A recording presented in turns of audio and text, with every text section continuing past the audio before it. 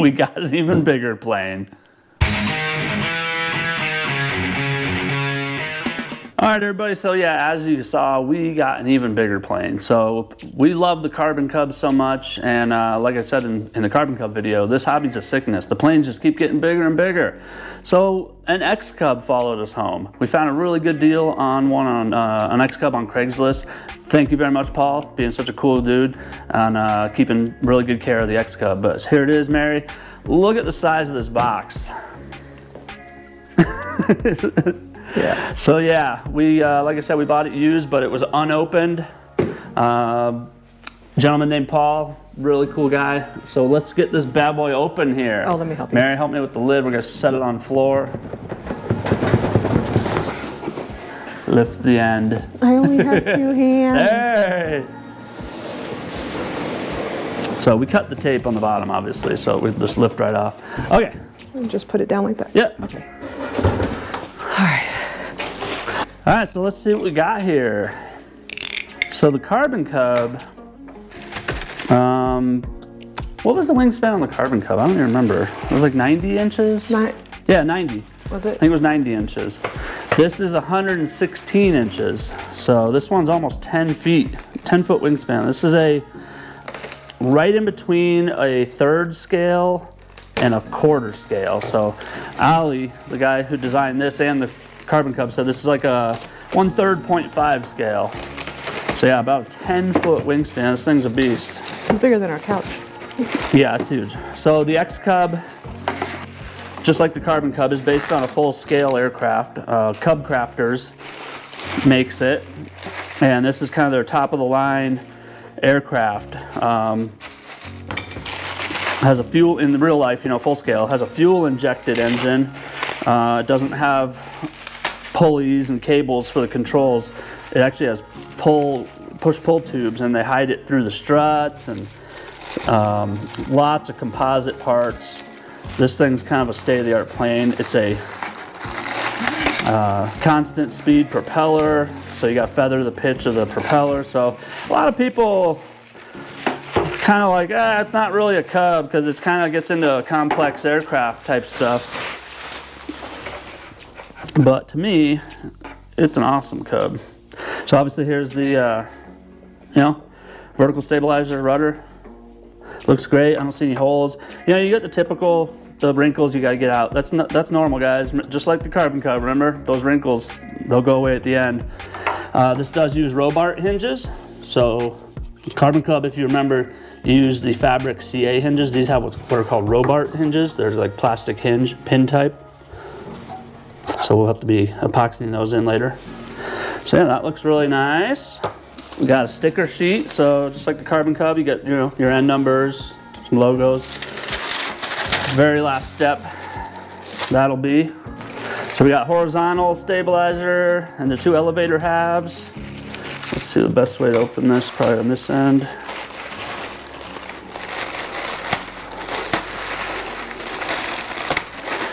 So yeah, we've been slowly ordering all the parts up for this bad boy.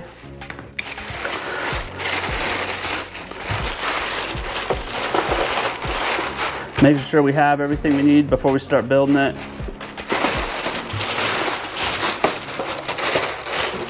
Come on. Oh boy. There it goes. Is it just as sticky on the back? Yeah, it's just the, there. It's just the plastic gets stuck on the, all right.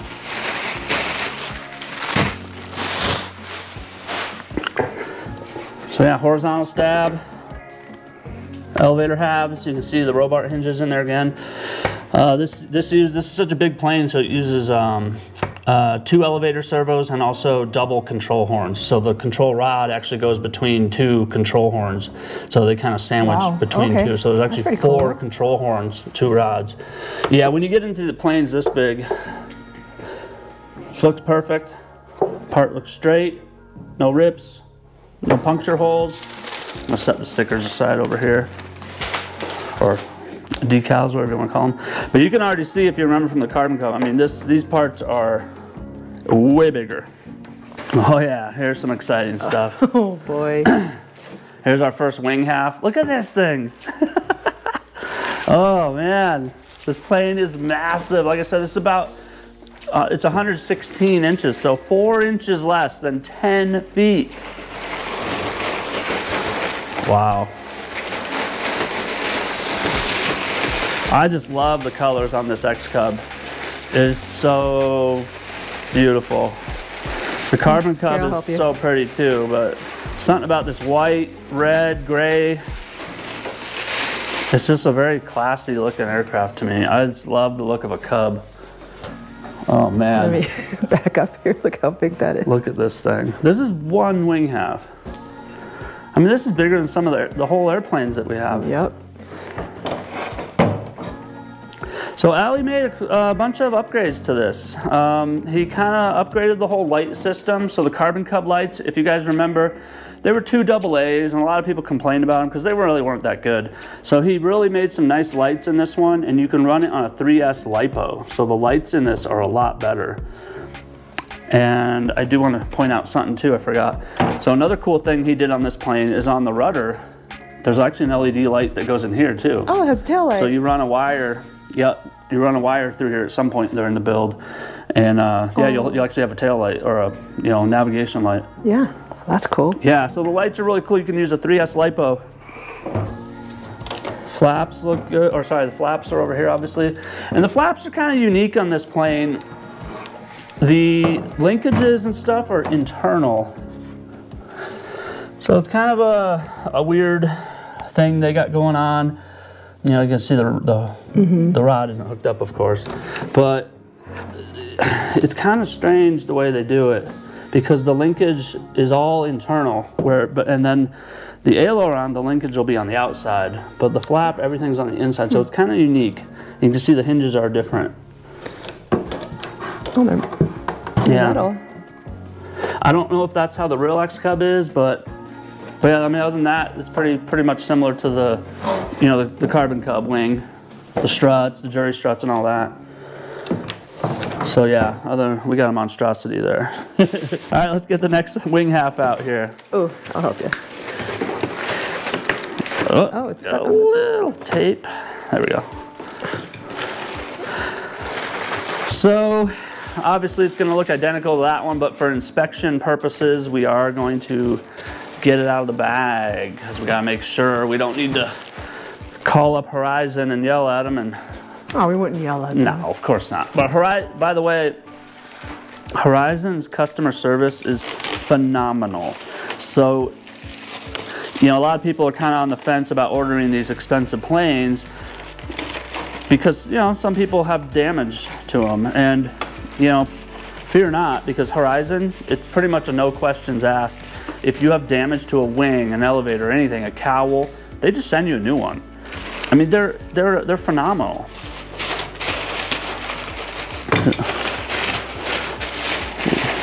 But you know, the, the damage doesn't happen too often, but it's definitely possible when a with a big item like this. Yeah, especially during shipping. Yeah, you know, these are built. I think they're built in Vietnam. So I mean, that's a long trip for some a big box like this and a fairly delicate item. Here. Bottom looks good. Mm-hmm. I don't see any punctures, scratches, holes. No deformity. Wing looks very straight. Top is perfect. And again, guys, I know a lot of people complain about the wrinkles. That's just the nature of the game dealing with, you know, balsa and shrink covering. Oh, remember Hangar 9 and Horizon, this is all UltraCote. That goes away at the end, nothing to worry about. Looks perfect to me.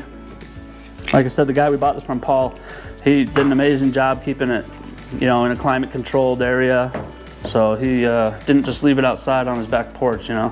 I'm gonna put this upside down actually because the, the flap hinges, Oh, yeah. I don't want them kind of, Yeah. you know, putting those three marks. All right, here we go. Here's the manual.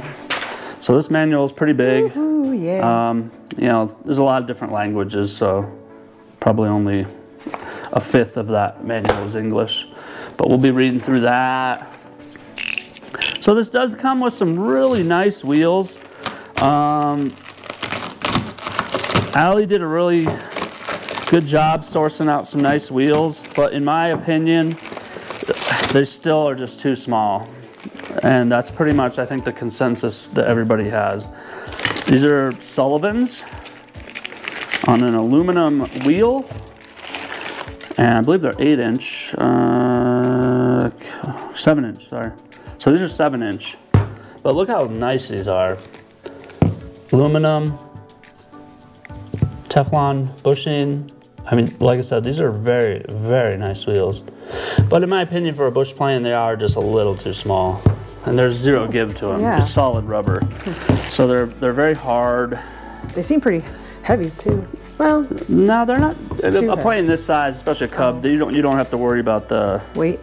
the weight by any means, but um, it's just zero give to them. You know, and I like a nice, soft, cushy landing, and they just don't look the part of a bush plane. But I kudos to Ali because these are very, very nice wheels that we might, you know, maybe use them on another project in the future. This is a good time to show you the wheels we are going to use. we got some PMTs from Germany. When you get into bush wheels of this size, your options become pretty limited. Uh, Du-Bro, what we use on the Carbon Cub, um, there it is up there if you want to. So Du-Bro, the biggest wheel they make is six inch. That's where they stop. I don't know why. Um, so you kind of got to get into some pretty expensive wheels, unfortunately. These are PMTs from uh, Germany, extremely high quality. These are sealed ball bearings, handmade. Let's see. You see the ball bearings. Here's the back. They have actual valves, like normal tire valves. These are the uh, 190, yeah, and they're squishy, so you know they're like Yeah, they push a lot of plane. Yeah, and they're actually pretty light. I don't have a scale out here, but they're they're lighter than these. Um, these are the 197 millimeter, if you guys are wondering. Works out to about eight inches, so they're about an inch taller than these Sullivans. Now, PMT, they do make one size bigger. They're the 262 millimeter, and they're pretty big. They work out to just about 10 inches, so they're just about a 10 inch wheel. And in my opinion, they just, it dep- I don't know. From some angles they look right, but some angles they look a little too big. So I went with the 197s. So these are a really good option because they're light and they're just really high quality. And um, they have eight millimeter axles, by the way. I don't know where I put my axles. I'll find them later, but but I do have the axles for them. Um, but yeah, so those are the wheels we are going to use, the PMTs from Germany, and we got those from Extreme RC, Extreme Flight RC down in Florida. They actually stock those. So if you're looking to order some from the states, Extreme Flight RC has Yeah, we'll put the link. Yeah, we'll put the link. Uh, but they import them from Germany. You can order them right from Germany, but I think it takes you know a month or two. But Extreme Flight got those to me in like two days. So thank you, Extreme. All right, let's uh, take off this first layer of separation here. This plane is awesome. Oh my God, look at this stuff. Look at that fuselage. Holy moly. So obviously we're gonna do the fuselage last, guys. Those seats are So here's the seats. So we'll open one real quick. These are extremely light. You know, there's nothing to them. Really doesn't need to be. They're mainly just to hold a guy. Same as the same exact style as the Carbon Cub. Very thin plastic, balsa mm-hmm. back, Oh, yeah. But they got clips. So this is actually really cool with this plane because the the Carbon Cub you had to Velcro. Yep, Looks like these one. have little clips. Is it oh like a screw and then you just kind of slide? Yeah, that's what it looks Yeah, like. They, ca- they called it rails, so it looks like you just put it in and click it in. Yep. So that's pretty cool. So we got our seats. Nothing too special there. Um, set those aside. Get our Sullivans over here. Man, those are nice wheels, those Sullivans. So I just don't like them for this plane. Windows, nothing special there. Just got to cut them and, you know, fit them in. yeah, fit them in. Oh yeah, we had so much fun last time. Yeah. um, struts, uh, strut covers. So this is the landing gear fairing. But another thing that we are changing, we are not going to use the landing gear that comes with the plane. There's the spinner, aluminum back plate. So the spinner, like I said, it's just an aluminum plate, like like a plastic spinner. Yeah. Yeah. So big. Super nice. Yeah, this plane I don't want to say this is the biggest plane we'll ever get because I said that on the Carbon Cub, and look what look what we have now. uh, electric motor box.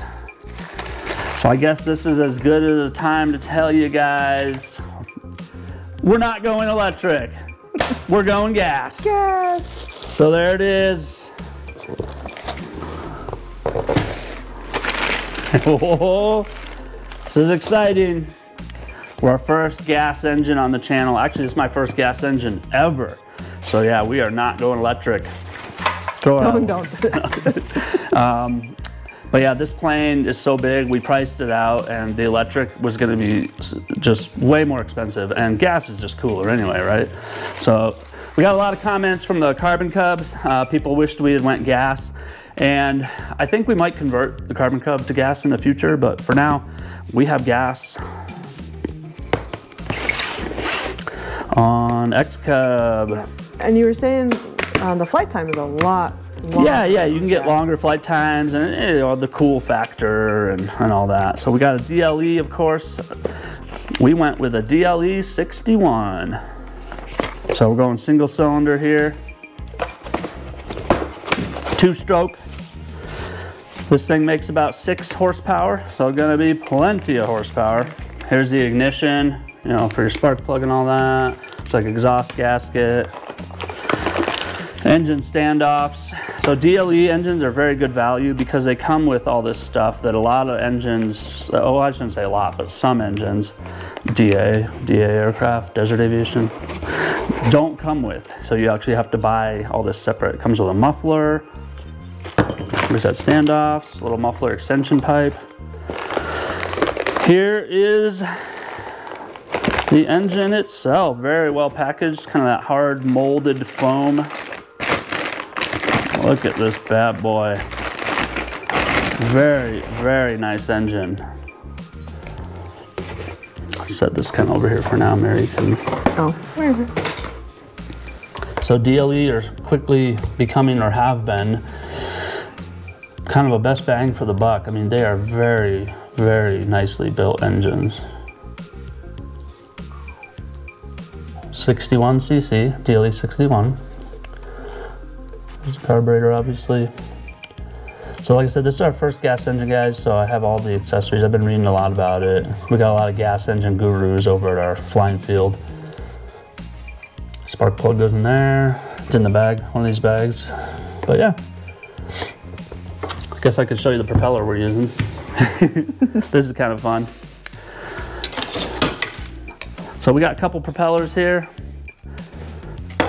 This is a 24 by 9 XOAR, laminated, absolutely beautiful. And then we have the JC Super Prop. This is actually a custom prop for this plane, specifically for this plane. This is a scale propeller from Aircraft International down in Florida. This is a 23 by 10. So we got a couple options here, 24.9, 23.10. But yeah, look how big those are. It's funny, we were looking at the Carbon Cub propeller and I was blown away how small it was. I was like, there's no way that's the Carbon Cub propeller. Because I remember when we first got this, we were like, that thing's huge. oh my God, it's so big. But look at the Carbon Cub propeller next to the, This tiny little guy now. yeah. I mean, it's crazy. It's just funny when you put things next to each other like that. So we are going gas, guys. This is gonna be awesome. Let's continue on. Oh boy. So I'm not gonna open all this small stuff. More engine standoffs. This is the stock gas tank, all the little fiddly bits, the fly, flying wires for the tail. Oh, there's the tail, the light for the rudder that goes through. This is another really cool thing that Ali did for this plane. The tail wheel setup on this is absolutely a work of art. He had to work with the, the factory and get special tooling made. Look at this tail wheel. Got actual leaf springs. I mean, look at this machined tail wheel bracket. I mean, this thing is amazing just a little foam wheel, but but this is so nice. Wow. What do you think of that, man? Wow, it's beefy. Uh, yeah, those are these are actually steel leaf springs. Like I mean, this is literally like what a real cub would have. Just beautiful. What else we got? More uh, Just stuff. like strut fairings or something. Gray strut fairings. gas engine mount. So here's the engine mount for the gas, and then the fuel tank goes in there. And we are actually going with a different fuel tank too, because I don't like these opaque plastic tanks. I don't like being able to not see the fuel, so we got a really nice Valley View. Nice clear tank from Valley View RC. And that's where we got the engine, by the way. Valley View RC, awesome, awesome company. Got a lot of really good gas engines. The prices are great, but their fuel tanks are extremely high quality fuel tanks. They got the, the felt clunk. Mm-hmm. They're very, very nice. Aluminum cap. So we're, we are going with a different fuel tank, by the way. This is a 24 ounce. Stock tank's a 20 ounce, so a little bigger, but mainly because it's clear. So here's the stock landing gear. Comes with the plane. This is kind of a, a contention point too, because the stock landing gear is scale. This is what the real X Cub has, is this style landing gear. Just, I think they call it just spring landing gear. It's just basically metal and it just bends. But unfortunately, on the, the model here, this metal they use isn't up to the task. A lot of people say it bends, it folds, you have a hard landing and it just bends. And I also just don't like the look of it. I don't think it looks like a Cub. I absolutely hate the look of it. So we are not using this. We got the optional, um, somewhere over here, the more. Cub style landing gear. The articulated, there it is. And um, you know, looks more like traditional Cub gear. Got the shocks, the arms. So it's exactly like the Carbon Cub, like you see on all Cubs. So, you know, articulates. So this is from Horizon Hobby, they carry it. So this is a direct replacement for these. So this is what we're going with. It's exactly like the Carbon Cub, just bigger.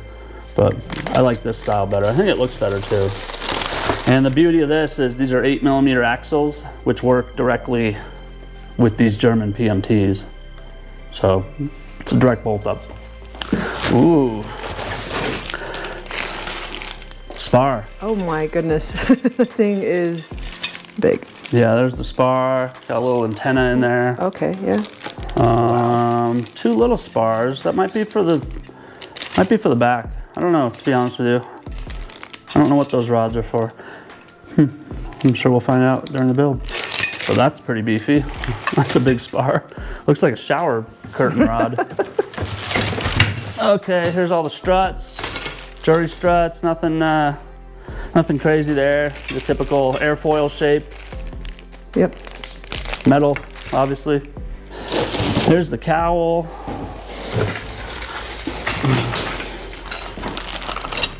So this is something we're gonna inspect really good. This is something that a lot of people, I shouldn't say a lot of people, but some people have uh, damage on. So just like the Carbon Cub, fiberglass cowl. Hopefully we got a good one.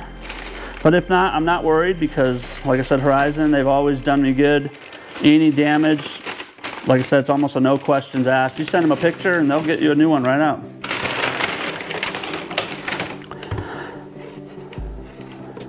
It looks absolutely perfect. Very happy. I had zero issues with my Carbon Cub ARF. Zero issues with this ARF very high quality parts. I, I feel like these are really nice. You know, there's the fiberglass. Pretty cool. Very nice. Very nice. Okay. Yeah, we'll kind of. Oh my gosh! Do you need help? This thing. No, Oh, you're good. Oh boy. this is huge. yeah. This is a big plane. so how did we mess this up last time? We pulled it out the total wrong way. I think we pulled it out from the back. I don't remember. My gosh, look at this thing. There, look, light tape score. I think we pulled it out from the back, and I think it Oh, actually comes. I think it comes out the from the front. Holy cow! this is gonna take two vehicles, both of our vehicles, to get to the flying field. That is for sure. It's sealed up front. Yeah, and then the back too. Also, I think you just choose your poison. Well, I think the back is oh, open, and I think you pull it Oh, okay. like out the front. I remember that's kind of how it was on the Carbon Cub. Just unfold it. Light tape scores here. Yeah, see the back okay. of the bag's open. Okay. You want to grab the plane? I'll grab the bag and I'll pull. Yeah, you got the bag? Yeah, I got the bag. Yeah, so slowly pulling the bag off. Dun, dun, dun, dun, dun, dun. Oh man. Look at this thing. oh, it's huge. Windows just kind of lightly taped on, so mm-hmm. we'll go with our cool black screw treatment. This I is need cool. bigger screws on this one. Yeah, oh, definitely. think? Yeah, we're gonna need bigger screws. It's all scaled up, so I'm just looking for any rips or puncture holes. Everything looks perfect. Look at the size of this thing.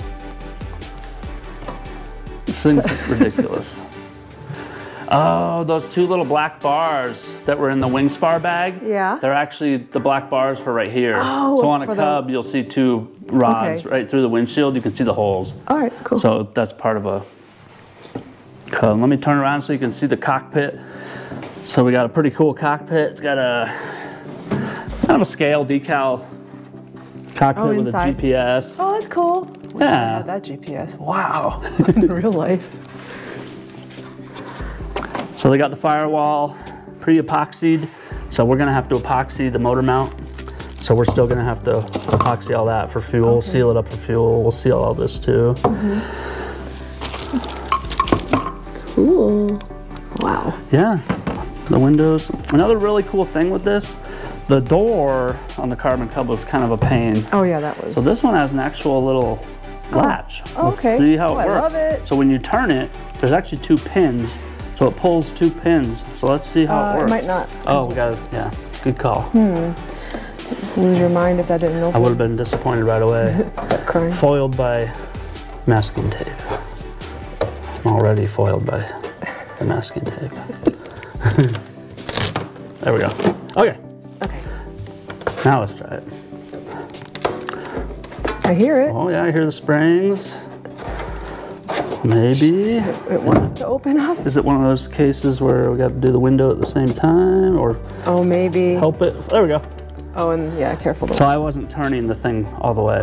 Oh, I, I see the pins. So Yeah. you gotta be super careful because it'll scratch the. Yeah. So you gotta be careful. But see, let me turn the little dial. Yeah, Yeah, kinda, it's hard. Yeah, I could see. See? There you go. And then there's one over here too that's retracting. Yeah. Careful. There you go. So yeah, that's actually pretty cool, but a little tricky to get my fingers in there. I think uh, looks like there's fingers. some. Looks like there's actually a spot for two bolts you put on there you can grab from the outside. Oh, okay. But I do like it better than the Carbon Cub one. It's pretty secure. Very secure. Yeah. Another cool thing with this plane, um, the top hatch, let me spin it around, or actually I'll come closer here. So there's actually a top hatch here. So right here, this hatch, we have to put some, uh, Oh, it comes out with magnets. okay. So you actually put the window In film in there, and then this hatch aids in getting to your batteries and everything. Oh, Because when the wings are on, you pull this top hatch off, Okay. and you can just connect everything through the top. That's pretty cool. Yeah, very cool. So I like that a lot. So you gotta put the, see the strong magnets? We just gotta put the glass or the, whatever you call it, plexiglass in there. Yeah, so we'll cut Cut a piece out. And uh, this does have a tow release. So that hole right here is for a tow release. On top. So it's in one of these baggies somewhere. Uh, we do have the servo for it. So we are gonna hook up the tow release just, just to have it hooked up, but I don't plan on towing any aircraft with this. But uh, Yeah. Fuselage looks perfect to me. There's the, you know, like get to some of the, the servos from the bottom. Yep. I don't see any issues, guys.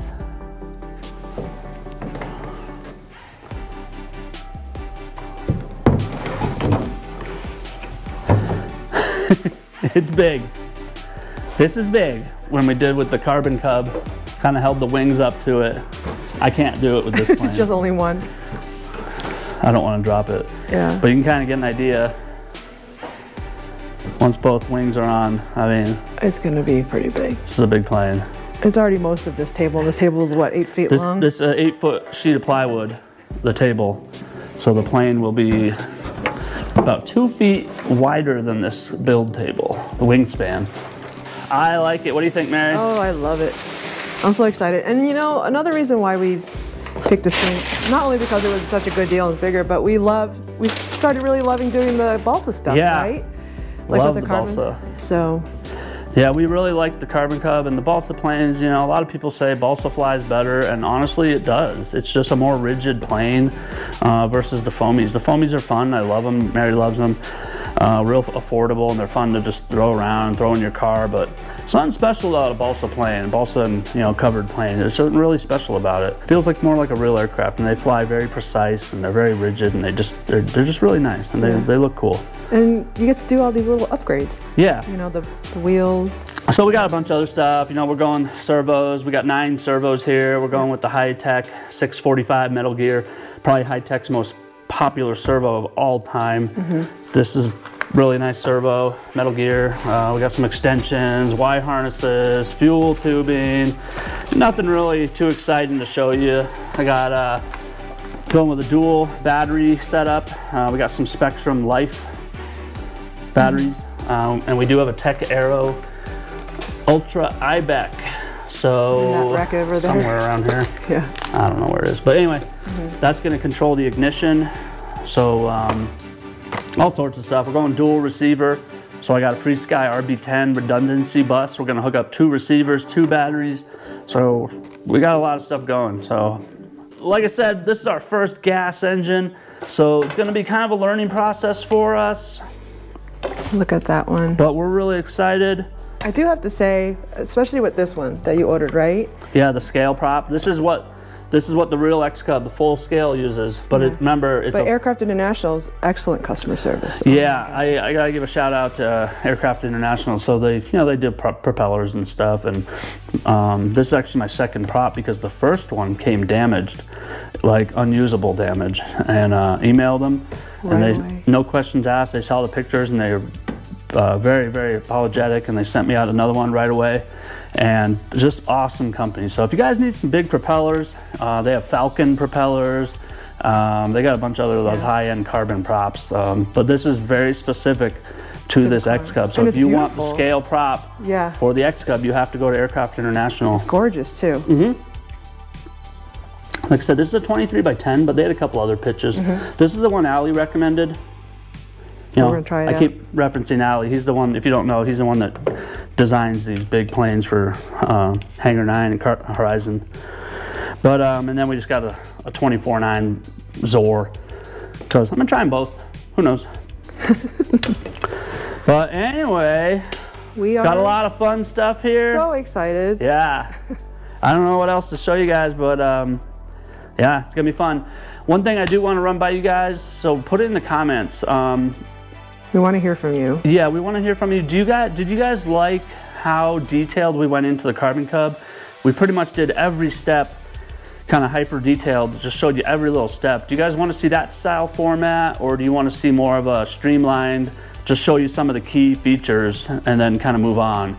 You know, do you want a shortened video or just a really, really detailed every single little Yeah. Kind of thing? Because we Um, did, um, what is it, four videos was the build for the carbon? Well, there was five build videos and then the sixth video was the maiden. okay. So I don't know. Do you guys want to see that, same format, Or just one video or just with the- not? Well, it wouldn't be like one video. Maybe like two or three.